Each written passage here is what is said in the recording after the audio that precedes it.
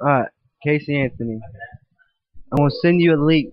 Someone wants to talk to you. He don't want to cuss at you. You don't want to fuss with him. He just wants to talk. Alright, see ya.